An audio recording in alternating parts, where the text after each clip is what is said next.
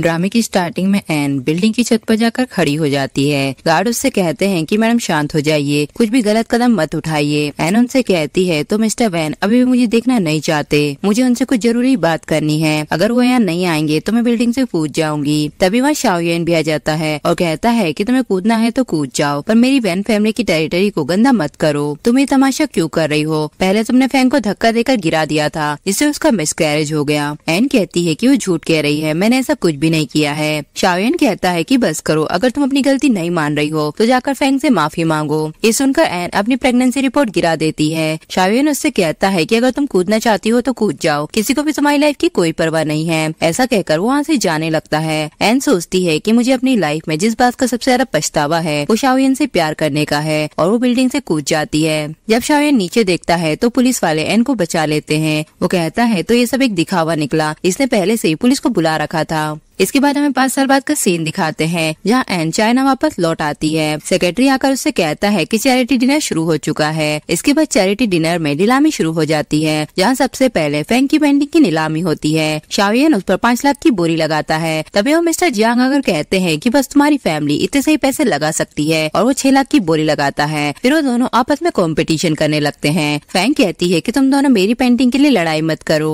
Mister Jiang कहते हैं की तुम्हारी पेंटिंग बेकार है। मेरा तीन साल का भतीजा भी इसे अपने पैर से बना सकता है, पर बात मेरी इज़्ज़त की है, मैं इससे हार नहीं मान सकता। तभी शाओयन पचास लाख की बोरी लगा देता है और उस पेंटिंग को खरीद लेता है। मिस्टर जियांग कहते हैं कि ज़्यादा खुश होने की ज़रूरत नहीं है। एक दिन में तुम्हें हरा दूँगा। शाओयन कहता है कि शहर में ऐसी कोई चीज़ नहीं है जो मुझे नहीं मिल सकती। तभी वहाँ होस्टलिंग नाम की डांसर को बुलाता है और कहता है की आज की चैरिटी डिनर की ये हमारी स्पेशल गेस्ट है, जो की एन ही रहती है। फिरोज कहता है की जो सबसे ज़्यादा बोरी लगाएगा, उसे मिसलिंग के साथ डांस करने का मौका मिलेगा। मिस्टर जियांग और शाओयन में फिर से कॉम्पिटिशन होने लगता है, जहाँ शाओयन एक करोड़ की बोरी लगाकर जीत जाता है। एन कहती है कि भले शावेन ने ज़्यादा बोली लगाई है, पर मैं मिस्टर जियांग को चूज़ करती हूँ। मिस्टर जियांग शाओयन से कहते हैं कि तुम्हारी किस्मत में मिसलिंग के साथ डांस करना नहीं लिखा था। शाओयन कहता है कि ये तो मैं तुम्हें बताऊँगा कि इस शहर में आखिरी डिसीज़न किसका होता है। इसके बाद शाओयन अपने सेक्रेटरी से कहता है कि पता करो कि मिसलिंग कौन है। जब शाओयन घर पर आता है, तब ग्रैंडमा उससे कहती है कि देखो इन वापस लौटाई है। शाओयन उसे देखकर कहता है कि तुम्हें वापस आने के लिए किसने कहा था? ग्रैंडमा कहती है कि उसे मैंने यहाँ बुलाया है। आखिर वो तुम्हारी वाइफ है। तुम उसे हर समय अब्रॉड में नहीं रख सकते। शाओयन कहता है की आपको पहले इस बारे में मुझसे डिस्कस करना चाहिए था। तब फैंग शाओयन को शांत करने लगती है और एन से कहती है की इन सालों में तुमने बहुत कड़ी मेहनत की होगी। एन कहती है की मुझे अपने बच्चे को हट करने का कोई शौक नहीं है।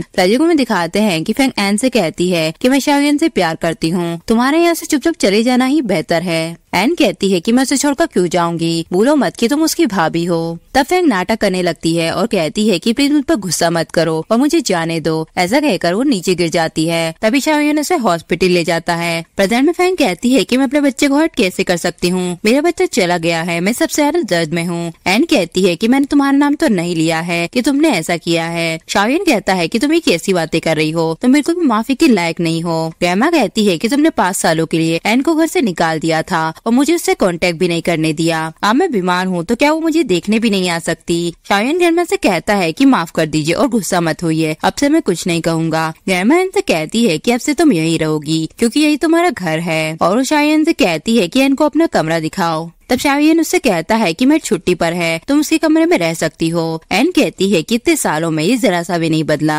इसके बाद एन अपने रूम में आकर अपनी बेटी से बात करती है। उसकी बेटी को बीमारी रहती है। डॉक्टर टैंग उससे कहते हैं कि हमें बॉन मैरो डोनर मिल गया है। हम जल्द ही किंग की सर्जरी कर पाएँगे। बस तुम्हें सर्जरी की फ़ीस टाइम पर देनी होगी। एन कहती है की मैं अपनी डांसिंग स्किल से पैसे अर्न कर लूँगी। अभी ग्रैंडमा की तबीयत थोड़ी ठीक नहीं है, मैं जल्दी वहाँ वापस आ जाऊँगी। इसके बाद शावियन एन को डिवोर्स पेपर देता है। एन उससे कहती है तो तुम तुमसे जरा सा भी वेट नहीं होता। शावियन कहता है कि ये काम तो बहुत पहले ही हो जाना चाहिए था, पर ग्रैंडमा के डिसग्री होने की वजह से मुझे तुम्हारे साथ इतने टाइम तक रहना पड़ा। एन कहती है तो क्या अब ग्रैंडमा एग्री हो गई है? शावियन कहता है कि नहीं, पर अब मैं तुम्हें पसंद नहीं करता। हमारी शादी शुरुआत से ही गलती थी, इसे तो बहुत पहले ही खत्म हो जाना चाहिए था। अगर तुमने मुझसे डिवोर्स लेने से मना किया तो मैं तुम पर केस करूँगा। एन कहती है कि परेशान होने की ज़रूरत नहीं है, और डिवोर्स पेपर पे साइन कर देती है। शावियन उससे कहता है कि ग्रैंडमा से मेरी शिकायत मत करना। एन कहती है कि मैं जानती हूँ कि उनकी तबीयत अभी ठीक नहीं है। मैं उन्हें दुखी नहीं करना चाहती। इसके बाद शाओयन मिसलिंग का डांस देखने आ जाता है। जैसे ही मिसलिंग स्टेज पर आती है, सब लोग उसे देखते रह जाते हैं। लेकिन वो शाओयन के पास आकर मिस्टर जियांग की तरफ़ अपना हाथ बढ़ाती है और मिस्टर जियांग के साथ डांस करने लगती है। शाओयन सोचता है की मुझे ये जानी बेजानी क्यूँ लगती है? आखिर ये कौन है? फिर वो स्टेज पर आकर मिसलिंग को पकड़ लेता है और कहता है कि मैंने तुम पर एक करोड़ लगाए थे। एन कहती है कि नियमों के खिलाफ है। आज मिस्टर जियांग मेरे साथ डांस करने वाले हैं। मिस्टर जियांग शाओयन से कहते हैं कि तुम बेशरम बनकर मिसलिन को क्यों छीनना चाहते हो? तभी वहाँ एक आदमी आकर कहता है कि मिस्टर शाओयन, आज के हमारे शो के स्पेशल गेस्ट हैं और मिस्टर जियांग को स्टेज से उतरने के लिए बोलता है। इसके बाद सेक्रेटरी शाओयन के पास मिसलिन की जानकारी लेकर आ जाता है। शाओयन इनको पकड़ लेता है और उससे कहता है की तुम्हारी हिम्मत कैसे हुई? मुझसे झूठ कहने की। एन कहती है की कैसा झूठ। शाओयन कहता है की, तुम इसी शहर से हो और तुम कुछ टाइम के लिए अब्रोड चली गई थी। अब मुझे यकीन हो गया है की मैं पहले तुमसे ज़रूर मिला हूँ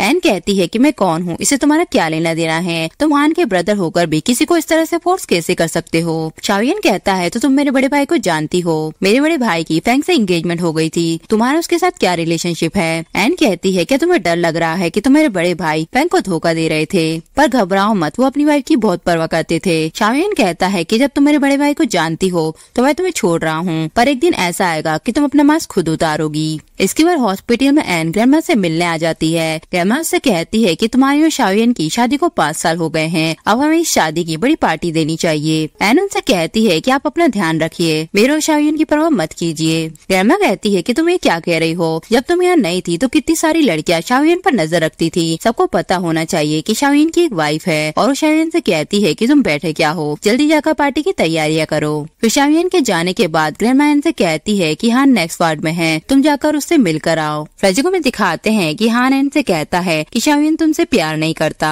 क्या तुम सच में उससे शादी करना चाहती हो। एन कहती है, पर मैं तो उससे प्यार करती हूँ और मैं उसी से शादी करना चाहती हूँ। हान कहता है कि, जब तुम उससे शादी करना चाहती हो तो मैं उसकी शादी तुमसे करवाऊँगा। पर अगर तुम्हारे साथ कुछ गलत हुआ तो तुम मुझे बताओगी। मैं तुम्हारी हेल्प करूँगा। एन कहती है कि, तुम चिंता मत करो, मैं हमेशा खुश रहूँगी। मेरे साथ कुछ भी गलत नहीं होगा। प्रेजेंट में एन हान के पास आ जाती है और कहती है कि, इतने सालों में मुझे बहुत सफ़र करना पड़ा है। अब तुम इस तरह से लेटे मत रहो और वापस आ जाओ और मेरी हेल्प करो। तभी वहाँ फैंग आ जाती है और कहती है कि अब तुम यहाँ से चली जाओ। मुझे अपने हस्बैंड का ख्याल रखना है। एन कहती है कि तुम इनका ख्याल क्यों रखोगी? अगर ये जाग गए तो फिर तुम्हें शाओन से दूर कर देंगी। फैंग कहती है कि तुम ये किस तरह की बकवास कर रही हो? एन कहती है कि हान हमेशा अपने काम में बिज़ी रहता था। वो तुमसे बहुत ही कम मिल पाता था। जब उनका एक्सीडेंट हुआ, तब तुमने कहा कि तुम उनके बच्चे से प्रेग्नेंट हो। लेकिन तुमने प्रेग्नेंट होने का नाटक किया था। फिर तुम खुद गिर गई और अपने मिसकैरेज का ब्लेम मुझ पर लगा दिया। और मुझे वैन फैमिली से बाहर निकाल दिया। वैन उस पर हाथ उठाने लगती है। तब वैन कहती है कि मैं पाँच साल पहले जैसी बेवकूफ़ नहीं हूँ और उसे धक्का देकर चली जाती है। फिर वो शाओयन के पास आ जाती है। शाओयन उसे ड्रेस देता है और कहता है कि आज की पार्टी के लिए तैयार हो जाओ। जब एन ड्रेस को पहनकर आती है, तब शाओयन उसे देखता रह जाता है। तभी इनका पैर मुड़ जाता है और वो गिरने लगती है। पर शाओयन आकर उसे संभाल लेता है और कहता है कि तुम कब तक मुझे परेशान करती रहोगी और वहाँ से चला जाता है। इसके बाद पार्टी में एन और फैंक की ड्रेस एक जैसी हो जाती है। फैंक कहती है कि मैं अपनी ड्रेस को चेंज करके आती हूँ। वरना लोग कहेंगे कि हमारी फैमिली दूसरी ड्रेस को खरीदना अफोर्ड नहीं कर सकती। शावियन उससे कहता है कि अगर तुम चली जाओगी तो सेरेमनी कैसे स्टार्ट होगी? और वो एन से कहता है कि तुम जाओ और अपनी ड्रेस चेंज कर कर आओ। तब एन अपनी ड्रेस को फाड़ने लगती है और उसे छोटा कर देती है। ये देखकर शावियन चौक जाता है। इसके बाद ग्रैंडमा पार्टी में आ जाती है और शावियन और एन से स्टेज पर जाकर डांस करने के लिए कहती है। एन कहती है कि मुझे डांस करना नहीं आता। मैं तो अपनी ग्रैंडमा के साथ ही बैठना चाहती हूँ। और वो शावियन से कहती है कि तुम फैंक के साथ जाकर स्टेज पर डांस कर सकते हो। फैंक कहता है कि आज हमारी वेडिंग की फिफ्थ एनिवर्सरी है। मेरा फैंक के साथ डांस करना सही नहीं है और वो इनको पकड़ कर स्टेज पर ले आता है और उससे कहता है कि तुम तो बहुत ही अच्छा डांस कर लेती हो। फिर तुम स्टेज पर आने के लिए नाटक क्यों कर रही थी? तब एन उसके पैर पर मार देती है और कहती है कि मुझे सच में डांस करना नहीं आता। फिर वो दोनों इसी तरह से डांस करने लगते हैं। ग्रैमा कहती है कि मैं तुम दोनों की रिलेशनशिप को देखकर आज बहुत ही खुश हो गई हूँ। अब मुझे जल्दी से एक ग्रैंडसन चाहिए और वो उस पार्टी से चली जाती है। इसके बाद पार्टी में एन जिन से बातें करने लगती है। शाविन कहता है कि कौन आदमी है जो मेरी वुमेन के साथ फ्लर्ट कर रहा है? जब वो उसके पास जाता है, तब वो उसका दोस्त रहता है, जिन शावियन से कहता है कि मुझे मेरा प्यार मिल गया है, मुझे इस लड़की से पहली नज़र में ही प्यार हो गया है। मैंने तो हमारे बच्चों के नाम भी सोच लिए हैं। शावियन कहता है, क्या तुम्हें कुछ समझ भी आता है? जीन कहता है कि नॉवल में हमेशा इसी तरह से तो लिखा होता है कि पहले शादी होती है, फिर प्यार होता है, और वो एन से डांस करने के लिए बोलता है, तब एन मान जाती है। शावियन एन से कहता है कि तुम्हारे दूसरे आदमी को सड्यूस करने का टैलेंट बहुत ही बढ़ता जा रहा है। एन कहती है कि हम दोनों पहली नज़र में एक दूसरे से अट्रैक्ट हो गए हैं, फिर तुम्हें जलन क्यों हो रही है? फैंग शावियन से कहती है कि आज तुम्हारी फिफ्थ एनिवर्सरी है और ये किसी और आदमी के साथ डांस करना चाहती है। जीन कहता है तो तुम दोनों शादीशुदा हो। और वो ऐसा कहकर पतली गली से निकल जाता है। घर आकर फ़ैन एन के पास आ जाती है और उससे कहती है कि मुझे पता है कि तुम्हारा और शायन का डिवोर्स होने वाला है। पर घर में बीमार है। अगर मैं उन्हें ये बात बताऊँगी तो उनका क्या होगा? एन उससे कहती है कि मुझे पता नहीं था कि तुम इतनी घटिया लड़की हो। फ़ैन कहती है की अगर तुम ये घर छोड़कर चली जाओगी तो मैं प्रॉमिस करती हूँ की मैं ग्रैंडमा को कुछ नहीं बताऊँगी। तब एन उसकी बात मान जाती है और घर छोड़कर चली जाती है। जब शायन घर पर आता है तो उसे एन नहीं दिखती और वो एन का कॉल ट्राई करने लगता है, पर एन ने उसे ब्लॉक कर दिया होता है। इसके बाद डॉक्टर टैंग एन से मिलने आ जाते हैं और उसे कहते हैं कि तुम मुझे फ़ोन पर बीमार लग रही थी, इसलिए मैं तुम्हें जल्दी से देखने आ गया। एन कहती है कि मैं बिल्कुल ठीक हूँ, तुमने मेरे बिहाव पर मेरी बेटी का बहुत ख्याल रखा है। टैंग कहता है कि मेरी मदर हमेशा से किंग जैसी ग्रैंड डॉटर चाहती थी, वो किंग से बहुत प्यार करती है। फिर वो कहता है कि मैं जानता हूँ कि पहले तुम्हारे साथ बहुत गलत हुआ है, पर मुझे इससे कोई फ़र्क नहीं पड़ता। मैं तुम्हारा तब तक वेट करूँगा, जब तक तुम एक दिन मुझे हाँ नहीं कह देती। तभी वहाँ शाओयन भी आ जाता है और एन से कहता है तो तुम इतने दिनों से घर से इसलिए गायब हो, क्योंकि तुम बाहर डेट कर रही हो। एन कहती है कि हमारा डिवोर्स हो चुका है। तुम अभी भी मुझे परेशान क्यों कर रहे हो? तुम कितने बेशरम हो? शाओयन कहता है कि, मैं अपनी बहन फैमिली को एम्बेरस होते हुए नहीं देख सकता। मेरे साथ घर चलो। एन कहती है की, मैं तुम्हारे साथ नहीं जाऊँगी, वो मेरा घर नहीं है। शाओयन कहता है की, अगर आज तुम मेरे साथ घर नहीं चलोगी तो इसका मतलब ये होगा की तुम बहन फैमिली को रिजेक्ट कर रही हो। टैंक कहता है की, अगर तुम्हारी बहन फैमिली इतनी अच्छी है तो पहले जो अब्रोड में एन के साथ हुआ, उसका क्या? शावेन कहता है कि तुम्हारा क्या मतलब है? जब वो अब्रोड में थी तो हमारी बहन फैमिली ही उसे कपड़ा खाना और सब कुछ देती थी। टैंक कहता है कि तुम एक्टिंग करने में बहुत अच्छे हो, और उसे कुछ बताने ही जा रहा होता है, पर एन उसे रोक देती है, और शावेन के साथ वहाँ से चली जाती है। लेगदिन ग्रैंडमा की सर्जरी होती है। डॉक्टर उनसे कहते हैं कि ऑपरेशन सक्सेसफुल रहा, पर पेशेंट को 24 घंटे तक देखभाल की ज़रूरत है। फैंक कहती है कि मैं ग्रैंडमा का ख्याल रख सकती हूँ, क्योंकि मैंने इतने सालों तक शावेन का ख्याल रखा है। तब शावेन उससे कहता है कि तुम्हारी तबीयत ठीक नहीं है, तुम घर पर जाओ। मैं और एन ग्रैंडमा का ख्याल रखेंगे। एन कहती है कि तुम दोनों घर पर चले जाओ। मैं अकेली ही ग्रैंडमा का ख्याल रख सकती हूँ। शावियन कहता है कि वो मेरी ग्रैंडमा है। चाहे कुछ भी हो, मैं उनका ख्याल रखूँगा। इसके बाद शावियन एन से कहता है कि क्या तुम आराम करना चाहती हो? तुम कब से ग्रैंडमा का ख्याल रख रही हो? अगर तुम्हें कुछ भी चाहिए तो तुम मुझे बता सकती हो। एन कहती है कि अगर ऐसा है तो कोर्ट जाकर मुझे जल्दी से डिवोर्स दे दो। शावियन कहता है कि तुम मुझसे डिवोर्स लेकर नया रिश्ता बनाने के लिए बहुत बेचैन हो। मैं बता देता हूँ कि भले मैं तुमसे डिवोर्स ले लूँगा। पर ग्रैंडमा ने मुझसे कहा है कि मुझे तुम्हारा ख्याल रखना है। एन कहती है कि तुम मेरा ख्याल क्यों रखना चाहते हो? क्या फ़ैन तुम्हारे लिए काफ़ी नहीं है? तब शाओयन वहाँ से गुस्सा होकर चला जाता है। इसके बाद ग्रैंडमा हॉस्पिटल से डिस्चार्ज होकर घर पर आ जाती है। और एन से कहती है कि एक महीने तक तुमने मेरा बहुत ख्याल रखा है। तुम काफ़ी पतली हो गई हो। मैंने मेट से तुम्हारे लिए खाना बनाने के लिए कहा है। दूसरा फैंग मैट को इशारा करती है। मैड एन से कहती है की आपने तो बहन फैमिली को छोड़ दिया था। क्या आप आज रात गेस्ट रूम में रुकना चाहती है? सुनकर चौक जाती है और कहती है की तुमने घर क्यूँ छोड़ा? इसके बाद ग्रैंडमा शावियन को घर पर बुलाती है और उसे थप्पड़ मारती है और डिवोर्स पेपर दिखाकर कहती है कि ये सब क्या है। शावियन गुस्से में एन की तरफ़ देखने लगता है। ग्रैंडमा कहती है कि एन को ब्लेम मत करो, वो बहुत ही अच्छी लड़की है। तब फैंग आकर ग्रैंडमा से कहती है कि प्लीज़ शांत हो जाइए। ग्रैंडमा कहती है कि चुप रहो, मैं बूढ़ी हूँ, ना कि प्रेगनेंट हूँ। शावियन ग्रैंडमा से कहता है कि हम दोनों सूटेबल नहीं हैं। ग्रैंडमा कहती है कि तुम उससे शादी करने के लिए किसी ने फोर्स किया था। तुम बहुत ही गैर जिम्मेदार लड़के हो। बहुत ही शर्म की बात है कि तुम्हारे जैसे लड़के का वैन फैमिली में जन्म हुआ। तब शावियन डिवोर्स पेपर को फाड़ देता है और कहता है कि मैं इनके लिए रिस्पॉन्सिबल रहूँगा और इस शादी के लिए भी। ग्रैंडमा कहती है कि अब तुमने अच्छी बात कही। तब एन कहती है, पर मुझे डिवोर्स चाहिए। मैं किसी और को लाइक करती हूँ। ग्रैंडमा कहती है कि मुझे पता है कि शावियन पहले गलत था, पर तुम चिंता मत करो। अब वो तुम्हारे साथ कुछ गलत नहीं करेगा। एन ग्रैंडमा से कहती है कि मैं जानती हूँ कि आपको पता है कि पहले शावियन को बहुत पसंद करती थी, पर वो पहले की बात थी। अब मेरे दिल में उसके लिए कोई भी फीलिंग्स नहीं है। ग्रैंडमा कहती है कि तुम्हें सीक्रेटली धमका रहा है। एन कहती है कि मुझे कोई भी फोर्स नहीं कर रहा है। अब मैं थक चुकी हूँ। मेरे पास अब एनर्जी नहीं है किसी को पसंद करने की। मैं बस चाहती हूँ कि कोई मुझसे प्यार करे। पर घबराइए मत, भले मैं डिवोर्स ले लूँगी, पर आप हमेशा मेरी ग्रैंडमा रहेंगी और ये रिश्ता कभी चेंज नहीं होगा। इसके बाद शाओयन बहुत ज़्यादा ड्रिंक करने लगता है। जीन उससे कहता है कि मुझे लगता है कि तुम प्यार में पड़ गए हो। शाओयन कहता है कि मेरी डिक्शनरी में रिग्रेट जैसी कोई चीज़ नहीं है। अब एन चली गई है तो लाखों वुमन मेरा इंतज़ार कर रही है और वो वेटर को अपने पास बुलाता है और कहता है की मिस लिंक को बुलाकर लेकर आओ, वरना मैं तुम्हारे गोल्डन होल को तोड़ दूँगा। तभी वह एन आ जाती है और कहती है कि मैंने सुना है कि तुम मुझसे मिलना चाहते हो। शावियन उसे वाइन का ग्लास पीने के लिए देता है, जिसे पीकर एन की ज़ुबान में जलन होने लगती है। ये देखकर शावियन को पुरानी मोमेंट याद आते हैं कि एन भी वाइन पीने पर ऐसा ही करती थी। फिर वो उससे कहता है कि तुम एन ही हो। एन कहती है कि मुझे जाने दो, मैं कोई एन नहीं हूँ। तुमने बहुत ज़्यादा पीली है और उसे धक्का देकर चली जाती है। जब एन बाहर निकलती है, तब डॉक्टर टैंग उसे टकरा जाते हैं। एन कहती है कि तुम यहाँ क्या कर रहे हो? टैंग कहता है कि मैं तुम्हें बहुत पसंद करता हूँ। मुझे लगा कि तुम सेफ़ नहीं हो, इसलिए मैं तुम्हें घर ड्रॉप करने के लिए आया था। तभी वहाँ शावेन भी आ जाता है और टैंग से कहता है कि तुम यहाँ मज़े करने क्यों आए हो? क्या तुम्हें पसंद नहीं है? और उसे पंच मारता है। टेंगन से कहता है कि तुम यहाँ से चली जाओ, मैं इसे संभाल लूँगा। फिर वो शाओयन को मारता है और कहता है कि मैं तुम्हें कब से हराना चाहता था, पर मुझे मौका ही नहीं मिला। अब तुम खुद मेरे पास आए हो तो आज मैं तुमसे एन का बदला लूँगा। शाओयन कहता है कि मैं उसका हस्बैंड हूँ, तुम्हारी मुझसे बदला लेने की क्या क्वालिफिकेशन है? टैंग कहता है की जब वो भूख से मर रही थी, तब तुम कहाँ थे? और वो जब सड़क पर रह रही थी, तब तुम कहाँ थे? शाओयन कहता है की तुम बकवास कर रहे हो। इन सालों में मेरी बहन फैमिली ने कभी उससे रिश्ता नहीं तोड़ा। टैंग कहता है की तुम अभी भी नाटक कर रहे हो। क्या तुम्हें पता भी है की इन पाँच सालों में उसने ज़िंदा रहने के लिए कितना कुछ फेस किया है। पर जाने दो, तुम ये जानने के लायक नहीं हो और वो वहाँ से चला जाता है। इसके बाद एन और शायन का डिवोर्स हो जाता है। एन वहाँ से जाने लगती है, तब शायन उससे कहता है कि चलो ब्रेकअप लंच करते हैं। एन कहती है कि दिखावा करने की कोई ज़रूरत नहीं है, अब हमारा डिवोर्स हो गया है। शायन सोचता है तो ये मुझसे डिवोर्स लेकर इतनी खुश है? इसके बाद ग्रैंड एक पार्टी रखती है, जहाँ वो एन को सबसे इंट्रोड्यूस करवाती है और कहती है की जो भी एन से शादी करेगा, मैं उसे दहेज में हंड्रेड मिलियन दूँगी। तब बहुत सारे लड़के एन से शादी करने के लिए रेडी हो जाते हैं। शाओन भी ये सब खड़े होकर देख रहा होता है। तभी वहाँ टैंक भी आ जाता है। ग्रैमा उससे कहती है कि तुम तो टैंक फैमिली के वारिस होना जब तुम छोटे बच्चे थे, तब मैंने तुम्हें अपनी गोद में उठाया था। टैंक कहता है की मैं जानता हूँ की जब मैं बच्चा था, तब आपने मुझे रेड एनवेलप भी दिया था। हैन कहती है तो आप दोनों दूसरे को जानते हैं। गैमा कहती है की टैंक फैमिली इसी शहर से है, पर वो अब्रोड में जाकर बस गए हैं। हर साल वो अपने पूर्वजों को श्रद्धांजलि देने के लिए चाइना वापस आते हैं। टैंक कहता है कि आज मैं दो रीजन की वजह से आया हूँ। पहला आपको देखने के लिए और दूसरा एन के लिए। ग्रैमा कहती है कि मैं तुम दोनों को डिस्टर्ब नहीं करना चाहती। अब तुम दोनों बात करो।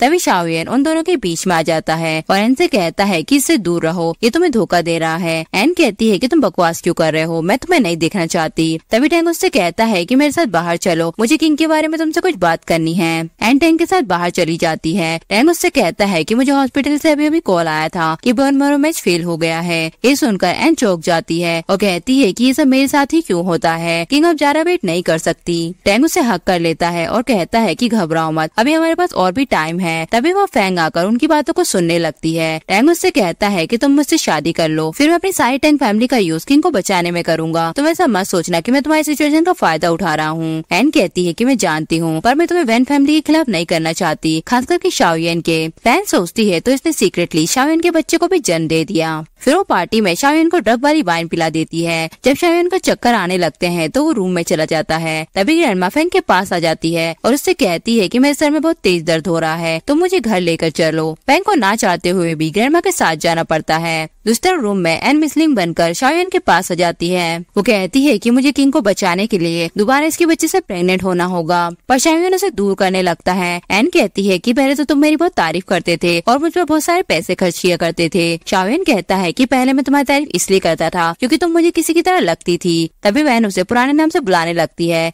जिस नाम से उसे पहले बुलाया करती थी। शायन सुनकर चौक जाता है और उसे एन समझने लगता है, फिर उसे करीब आने लगता है। सुबह जब शायन उठता है तो उसके बगल में फैंग लेटी हुई होती है। शाओयन कहता है की तुम यहाँ क्या कर रही हो? फैंग कहती है की मुझे नहीं पता, कल रात तुमने बहुत ज़्यादा पी ली थी। शाओयन कहता है की ऐसा नहीं हो सकता, कल रात मेरे साथ एन थी और वो इनको कॉल करता है और कहता है की कल रात तुम ही मेरे साथ थी ना। एन कहती है कि तुम पागल हो गए हो। मैं कल रात टैंक के साथ थी और वो फ़ोन काट देती है। तभी शाओयन वहाँ मिसलिंग का मास्क पड़ा हुआ देख लेता है और वहाँ से चला जाता है। रजों में दिखाते हैं कि शाओयन के पास से उठकर चली जाती है। उसके जाने के बाद वहाँ फेंग आ जाती है और कहती है तो यह अभी तक सो रहा है। फिर उसके बगल में लेट जाती है। इसके बाद शाओयन गोल्डन हॉल में आ जाता है और एन की फ़ोटो दिखाकर कहता है कि यहाँ पर डांस करती है ना। मैनेजर कहता है कि ऐसी दिखने वाली लड़की तो यहाँ कोई भी नहीं है। शाओयन कहता है कि अगर ऐसा है तो मिस लिंग को बुलाओ। मैनेजर कहता है की मिस लिंग तो तीन दिनों पहले यहाँ से जा चुकी है। उन्होंने कहा है कि वो शादी करने जा रही है। भले ही वो मेरे लिए पैसों का पेड़ थी, पर उसने कहा है की अब उसे किसी आदमी से प्यार हो गया है। अब मैं इसमें कुछ नहीं कर सकता।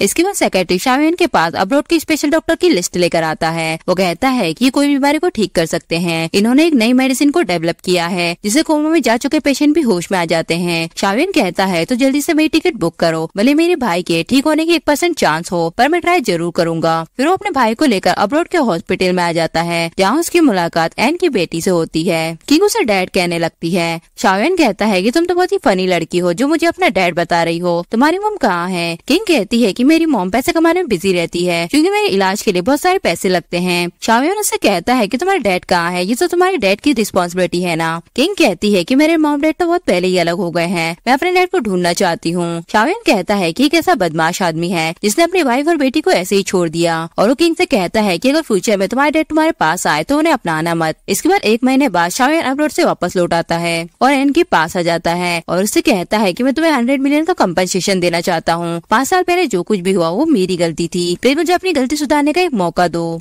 एन कहती है कि मुझे ये पैसे नहीं चाहिए। मेरे लिए ग्रैंडमा का प्यार ही काफ़ी है। तभी शावेन के मोबाइल पर फैंक का कॉल आने लगता है, पर वो उसका कॉल नहीं उठाता। एन कहती है कि तुम उसका फ़ोन क्यों नहीं उठा रहे हो? तुम चिंता मत करो। अब मुझे तुम दोनों की रिलेशनशिप से कोई फ़र्क नहीं पड़ता। शावेन कहता है कि हमारे बीच में कोई भी रिलेशनशिप नहीं है, और उसे अपनी शर्ट खोलकर अपने बॉडी के निशान दिखाता है, और कहता है की मैं बचपन में किडनेप हो गया था। उस वक्त मैं सिर्फ़ छह साल का था। मुझे लगा की शायद मैं सरवाइव नहीं कर पाऊँगा। तभी एक छोटी लड़की ने आकर मुझे बचा लिया। तुम जानते हो की वो लड़की फैंग ही थी। जिसने मुझे बचाया था। उसके बिना आज मैं ज़िंदा नहीं होता, क्योंकि मेरे बड़े भाई कोमा में है, इसलिए मैं उसका ख्याल रखता हूँ। मैं सिर्फ़ उसका एहसान चुका रहा हूँ। मेरे दिल में उसके लिए कोई फीलिंग्स नहीं है। एन कहती है की मुझे तुम्हारी बातें नहीं सुननी, तुम यहाँ से चले जाओ। शायन उससे कहता है की मैं तुमसे प्यार करता हूँ। एन कहती है की तुम्हारे पास कोई दूसरा चांस नहीं है। मेरे दिल में तुम्हारे लिए कोई जगह नहीं है। रजो में दिखाते हैं की एन शायन को कॉल करती है और कहती है की मैंने तीन दिनों ऐसी खाना नहीं खाया है। प्लीज़ मेरी हेल्प करो। तब एक लड़की कहती है कि उसने तो बहुत ज़्यादा ड्रिंक कर ली है और वो सो रहा है। हमें डिस्टर्ब मत करो। ये सुनकर एन चौक जाती है। तभी वह पागल आदमी उसके पास आ जाता है। प्रेजेंट मैन कहती है की उस आदमी से टैंक ने मुझे बचाया था। उसी मोमेंट में मैंने सोच लिया था की तुम और मैं कभी एक नहीं हो सकते। शायन उससे माफ़ी माँगता है, पर एन उसकी माफ़ी को एक्सेप्ट नहीं करती और उसे उसका कार्ड लौटा देती है। जब शायन घर पर आता है तो फैंग उससे कहती है कि तुम मुझे अवॉइड क्यों कर रहे हो और मेरा फ़ोन क्यों नहीं उठा रहे? फिर उसे बताती है कि मैं तुम्हारे बच्चे से प्रेग्नेंट हूँ। शावियन कहता है, क्या तुम पागल हो गई हो? फैंग कहती है तो तुम अब अपने बच्चे को भी नहीं पहचानना चाहते। शावियन कहता है कि अगर सच में उस रात वो लड़का मैं ही था तो मैं तुम्हारी रिस्पॉन्सिबिलिटी लूँगा, पर अभी हम इस बारे में बात नहीं करते। और उससे कहता है की जब एन अब्रॉड में थी तो क्या तुमने उसके फ़ोन कॉल उठाए थे? फैंग कहती है की मुझे पिछली बातें याद नहीं है। शावियन कहता है की इतने डरने की ज़रूरत नहीं है, मैं तो बस तुमसे पूछ रहा था। इसके बाद फैंग एन को बुलाती है, और उससे कहती है कि मैं शावियन के बच्चे से प्रेग्नेंट हूँ, अब तुम्हारा डिवोर्स हो गया है, तुम उसका पीछा छोड़ दो। एन कहती है कि उसका पीछा छोड़ने के लिए तुम मुझे क्या दोगी? तब फैंग उसे चेक निकाल कर देती है। एन कहती है तो शावियन की बस इतनी ही कीमत है। तब फैंग उसे दूसरा चेक निकाल कर देती है और कहती है की ज़्यादा लालची मत बनो। एन उन पैसों को लेकर वहाँ से चली जाती है। तब फैंग एक आदमी को इशारा करती है। वो आदमी एन का पीछा करने लगता है। एन उस आदमी को अपना पीछा करते हुए देख लेती है और मौका देखकर उसे शौक लगा देती है, जिससे वो आदमी बेहोश होकर गिर जाता है। फिर एन वहाँ पुलिस वालों को लेकर आ जाती है। जब तक वो आदमी वहाँ से भाग जाता है, पुलिस वाले उससे कहते हैं कि तुम्हारे पास उसकी फ़ोटो है, तभी एन अपने मोबाइल में उसकी फ़ोटो दिखाती है। इसके बाद एन बार में अपनी परफॉर्मेंस देने आ जाती है, जहाँ मिस्टर बैंक उसे ड्रिंक करने की जिद करने लगते हैं। एन कहती है की मैं सिर्फ़ डांस करती हूँ, मैं ड्रिंक नहीं करती। मिस्टर बैंक कहते हैं, पर आज तो तुम्हें ड्रिंक करना ही होगा। और उसे ड्रिंक करवाने लगते हैं। तब एन उन्हें थप्पड़ मार देती है। मिस्टर बैंक को गुस्सा आ जाता है और उसका मास्क हटा देते हैं। तभी वह शावेन आकर मिस्टर बैंक को मारने लगता है और एन से कहता है कि तुम यहाँ क्या कर रही हो? एन कहती है कि मेरे पेट में दर्द हो रहा है, मुझे जल्दी से हॉस्पिटल ले चलो। जब हॉस्पिटल में एन को होश आता है, तब वो शावेन से कहती है कि मैं यहाँ पर क्या कर रही हूँ। शावेन कहता है कि प्लीज़ तुम शांत हो जाओ। तुम प्रेग्नेंट थी पर अब तुम्हारा बच्चा जा चुका है। ये सुनकर एन सैड हो जाती है और कहती है कि गॉड मुझे इस तरह से परेशान क्यों कर रहे हैं? मैंने अपने बच्चे के साथ ऐसा क्या किया था? शावेन कहता है कि तुम्हारी बॉडी अभी वीक है। इस तरह की सैडनेस तुम बर्दाश्त नहीं कर सकती। एन कहती है कि तुम यहाँ से चले जाओ। इसके बाद शावेन उसके पास मास्क लेकर आ जाता है और कहता है कि तुम शुरू से ही मुझे बेवकूफ़ बना रही थी। एन कहती है कि मैं तो बस कुछ पैसे कमाना चाहती थी। मुझे उम्मीद नहीं थी कि मेरी मुलाकात तुमसे होगी। शावेन कहता है कि अगर तुम्हें पैसों की ज़रूरत थी तो तुमने हमारी वैन फैमिली से पैसे क्यों नहीं मांगे? एन कहती है, क्योंकि मैं इस लायक नहीं हूँ। शावेन कहता है तो क्या तुम उस रात मेरे साथ थी?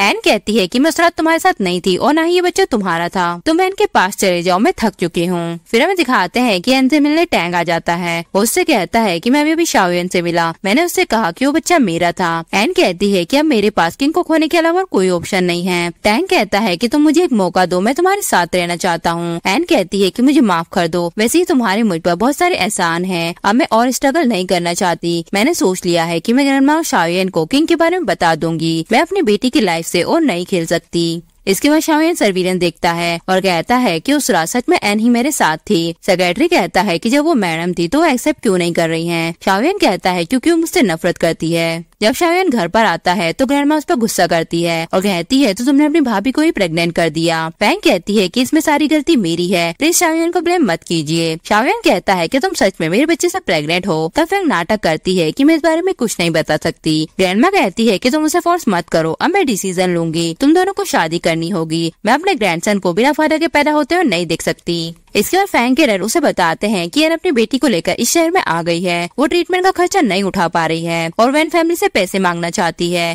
फैंग कहती है कि मैं ऐसा नहीं होने दूँगी, वरना मेरी शादी बर्बाद हो जाएगी। तुम शादी से पहले उन्हें किडनैप कर लो। इसके बाद एन अपनी बेटी को लेकर एक टैक्सी में बैठ जाती है, जहाँ टैक्सी का ड्राइवर फैंग के डैड ही होते हैं। फिर हमें फैंग और शावियन की वेडिंग दिखाते हैं। फैंग स्टेप पर शावियन के पास जाती है, पर वहाँ तो शावियन की जगह कोई और आदमी होता है, जिसे देखकर फैंग चौक जाती है और कहती है कि तुम कौन हो। तभी वह शावियन आकर कहता है कि यही तुम्हारे बच्चे का फादर है। फैंग उससे कहती है कि तो तुम्हारा बच्चा है। शावियन कहता है कि तुमने मुझसे कहा था ना कि बच्चे के फादर को रिस्पॉन्सिबल होना चाहिए। मैंने उसके फादर को ढूँढने बहुत मेहनत की है। तुम अपना रूप बदल कर गाँव में वर्कर के साथ मौज मस्ती करने जाती थी। तुम्हें लगा की किसी को भी पता नहीं चलेगा। वो आदमी फैंग ऐसी कहता है की मैं हमारे बच्चे की रिस्पॉन्सिबिलिटी उठाऊँगा। फैंग कहती है की तुम दूर हटो, मैं तुमसे शादी नहीं करना चाहती। शावियन कहता है की मैं सिर्फ़ तुम्हें दस लाख रूपए दे सकता हूँ। अगर तुम इसे शादी करना चाहती हो तो कर सकती हो। और अगर नहीं करना चाहती तो तुम्हें अपनी लाइफ खुद ही जीनी होगी। फैंग कहती है तो तुम सिर्फ़ मुझे दस लाख रुपए देना चाहते हो।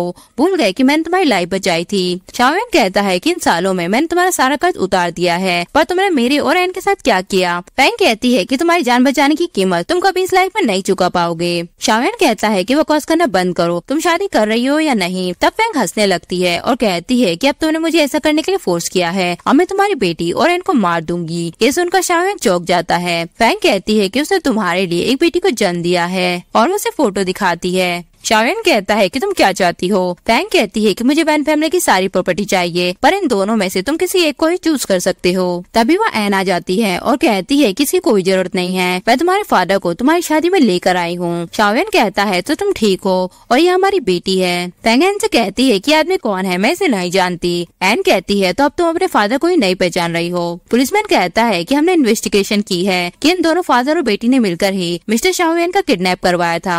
ये सुनकर शाहवेन चौक जाता है। बैंक कहती है कि मैंने ऐसा नहीं किया। उसके फादर कहते हैं कि अगर तुमने ऐसा करने के लिए नहीं कहा होता तो मैं अपनी आराम की ज़िंदगी जी रहा होता, पर तुम बड़ी मछली पकड़ने के लिए एक लंबा खेल खेलना चाहती थी, इसलिए तुम शाहविन के पास चली गई। बैंक कहती है की बकवास कर रहा है, इसके पास कोई एविडेंस नहीं है। तभी वो शाहविन का भाई आ जाता है और कहता है की मेरे पास एविडेंस है। प्रजो में दिखाते हैं की फैंग से कहता है तो शाहविन की किडनैपिंग तुम नहीं करवाई थी। तुम नाटक करके वैन फैमिली में आ गई, ताकि वैन फैमिली तुम्हारा कर्ज चुकाए। बैंक कहती है की मैंने ये सब जानबूझकर नहीं किया था। मैं तुम्हारे साथ एक परिवार बनाना चाहती थी। फिर मुझे माफ़ कर दो। मैं दोबारा कभी ऐसा नहीं करूँगी। हान उसकी बातों में आ जाता है और उससे कहता है कि तुम अंदर जाकर आराम करो। तब फैंक पीछे से उसे वापस उठाकर मार देती है। प्रधान में पुलिस फैंक को पकड़कर ले जाती है। इसके बाद एन हान को देखकर कहती है कि तुम्हें ठीक देकर मेरे दिल को बहुत राहत पहुँची है। हान उससे कहता है कि मैंने भी उम्मीद नहीं की थी कि मैं ठीक हो जाऊँगा। चलो चलते हैं। मैंने एक डिनर बुक किया है। तभी वहाँ शाओन भी बलून लेकर आ जाता है। ग्रैमा किंग से कहती है कि उस आदमी को इग्नोर करो। वो बेवकूफ़ है। फिर वो लोग शावियन को इग्नोर करके डिनर करने चले जाते हैं और इसी के साथ ये ड्रामा यही खत्म हो जाता है। वीडियो अच्छा लगा हो तो प्लीज़ लाइक कमेंट और शेयर